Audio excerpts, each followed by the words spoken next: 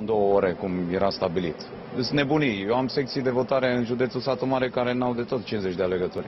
Deci nimic despre Ovidiu Silaghi și despre acest uh, dosar de trafic de influență. Apare și numele dumneavoastră în acest dosar.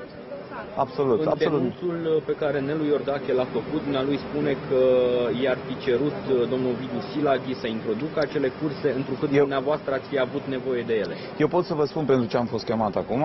E vorba de autodenunțul senatorului Valer Marian privind referendumul. Asta am înțeles, dar referit... De ce ați venit cu avocat?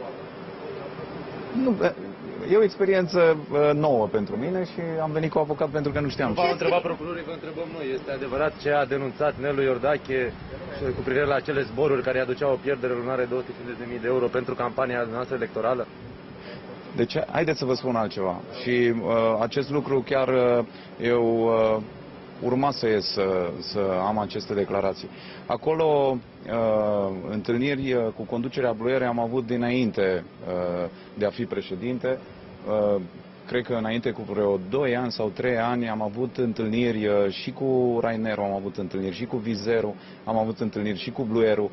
Am fost la ei la companie, am